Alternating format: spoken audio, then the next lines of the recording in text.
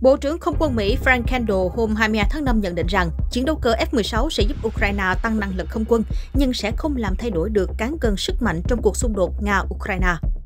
Giới chức Ukraine trong nhiều tháng đã cố gắng thuyết phục các đồng minh phương Tây cung cấp F-16 với lý do loại máy bay này sẽ có tác động lớn trong cuộc xung đột với Nga. Phát ngôn viên không quân Ukraine Yuri Ignat ngày 20 tháng 5 tuyên bố, khi Kiev bổ sung F-16 vào kho vũ khí của mình, chúng tôi sẽ thắng cuộc chiến.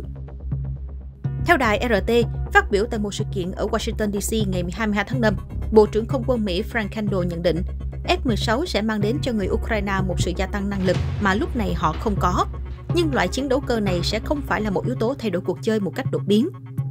Theo đài RT, Bộ trưởng Kendall giải thích rằng F-16 sẽ không làm thay đổi cán cân sức mạnh trong cuộc xung đột Nga-Ukraine, vì các hệ thống phòng không hiệu quả sẽ làm giảm vai trò quyết định của loại máy bay này.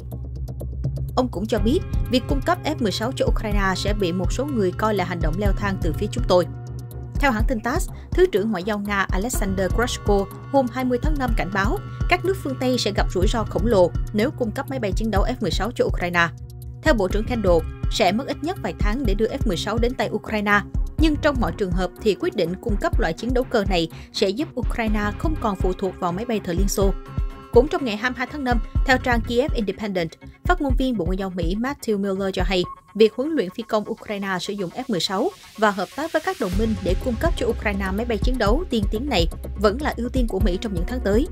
Ông Miller nhấn mạnh, Tổng thống Joe Biden đã nói rất rõ rằng chúng tôi sẽ bắt đầu huấn luyện binh sĩ Ukraine lái F-16 và chúng tôi sẽ làm việc với các đồng minh và đối tác của mình về việc cung cấp F-16 cho Ukraine. Trước đó vào ngày 17 tháng 5, Anh và Hà Lan đã đồng ý xây dựng một liên minh máy bay chiến đấu cho Ukraine.